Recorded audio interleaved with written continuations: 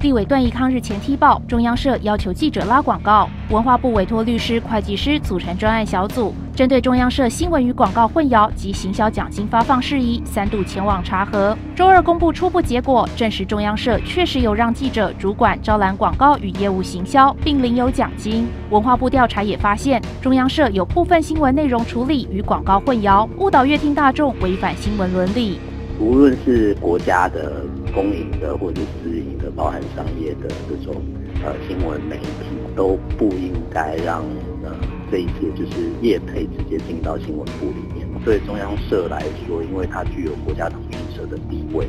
呃，更不应该要求新闻记者去做业配。文化部表示，他们每年捐助中央社近三亿元预算经费，对中央社负有监督之责。对于中央社奖金发放流程与变更奖金比例有违相关规定，文化部已经要求中央社更正，并要求他们先进行内部就责，责任归属将在下周明朗。中央社董事长陈国祥表示，九月一日起已不再请记者协助业务，也召开董监事会，大幅修改营销奖励办法，完全排除新闻部人员参与行销广告业务。生活中心台北报道。